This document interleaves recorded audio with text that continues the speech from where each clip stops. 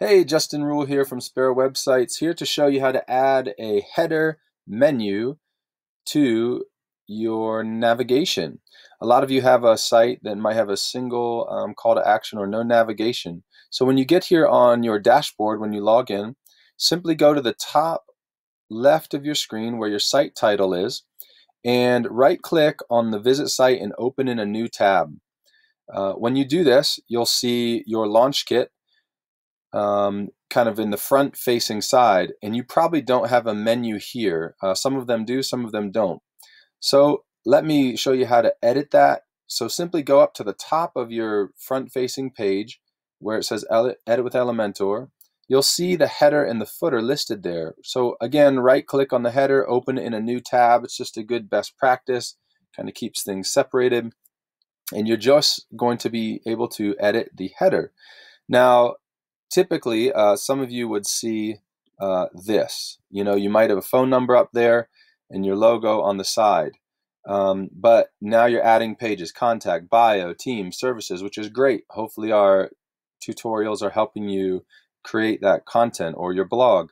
So the way that you add your menu in this space is simply right click on your logo column and you'll see add a new column and that's going to add a column. It always adds it to the right of whatever column you're on, or if you happen to be on a row, it will add it below it. So in this case, we're going to add new column. We're going to go to the logo column since it's on the left.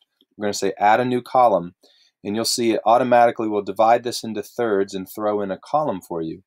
You can drag the edges of these columns on desktop to adjust the, the size of your logo in the space that you want here for the menu. So if you want a menu that sits in the middle, what you can do then is go up here to the top of our screen and you'll see the grid of uh, options here. And when you click on that grid, you'll see navigation. All you need to do is drag your navigation menu icon into this space and let go. And you'll see whatever's in the main navigation will jump in here. So while this is in here, we're going to go then to the left and we're going to choose to right align that. Okay. And then you have a couple options. You can see there's an underline uh, element that shows up here. So you can simply choose none, in which case when you go over the menu, it'll simply just change to the hover color. So let's just do that.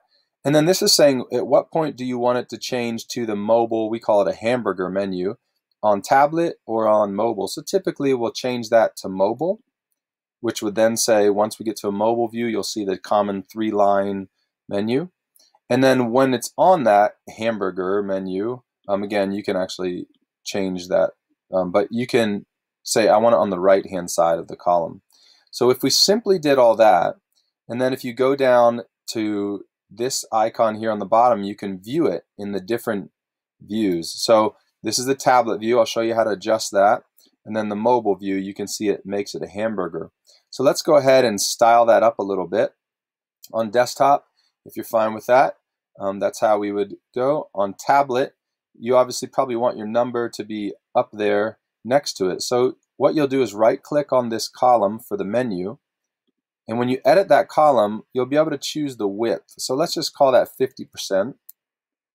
And we'll take a little guess here that that's about 2550. So if we go to this column now and we want to up next to it, obviously they need to add up to 100. And so rather than 80%, we can make that 25 and it'll jump up there next to it 25, 50, and 25. Um, you can see there's a little space there. So again, you can kind of play with this percentage here to see how much actual room that you get. So we can get 30 in there. Um, I'll show you how to change some fonts and different things. But now we have it on a single row. Um, depending how many menu icon, menu elements you have up here. Um, one thing you'll want to do is right click on this menu. So again, right click, edit navigation menu.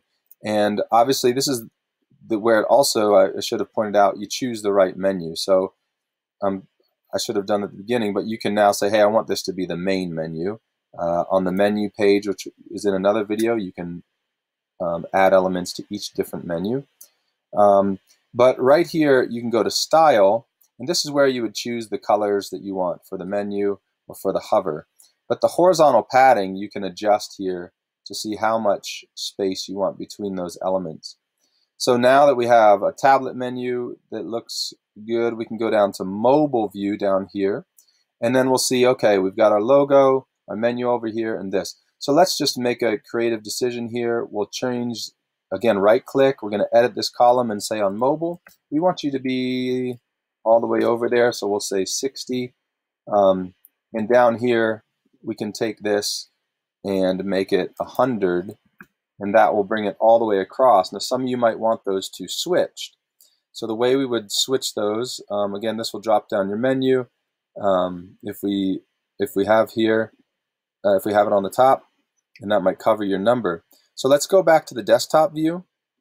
And again, these are all just creative decisions you can you can be making as you edit these these menus. Um, this column again, it always is going left to right, top to bottom. So technically what you, you want is this menu to be below your number. So one way you can do that is simply take the blue menu and drag that over underneath the phone number and let it go. Okay? And obviously then we have this column sitting out here which we can now delete because we don't need it. So we can right click, delete. And now we have a menu, phone number, you know, all laid out here. We can drag these to, you know, adjust it accordingly. Um, and you have your menu. Now you could, again, take this menu, right click on it because we're going to edit this element and we'll go over to content. Now we could center that menu in the space. You can right align it. There's a lot of things you can do here, but what that allows is when we go then to tablet, okay, now we have to adjust our columns now because we're playing, in a different sandbox. So we're going to call that 70 to bring that all the way over to the edge. Maybe we can get away with 80 here. So now we've got that little cleaner on tablet. And then on mobile, we now have these elements stacked. We just don't want it below the logo. So we're going to edit our column and make it 80. Or let's get it low enough to get up there. Try 60. There we go. And then your logo is on one side, your phone number, and your menu is underneath that. If you want to play with the padding, again, right click on the element in question. The padding's a little more advanced, so that's over here in advanced. And you can say, hey, right here on this padding, uh, let's put a little bit of space around that. Now, you can unlink it, and that will allow you to directly control the above and below padding. But now you have a little more. Again, you could to right click on this text, whatever you might have up here. This is actually our phone number if you need some help with all this. Um, you can sign up for a consultation and simply pay for that online and we'll actually walk through and edit and perfect all this stuff right there for you if you need help. But this line height, you know, you can adjust that there. There's a lot of options in Elementor. That's why we love it. Um, you can change your colors here. You'll get the hang of this, but this is in style. So basically style and visual, style encompasses anything visual. Content's the actual element, and then advanced is, as it says, a little more advanced padding. So hopefully that helps you add a menu, however you're looking to add a menu. And if you need help beyond that, feel free to ask. Just click the green update button when you're ready for it to go live, and it'll be live.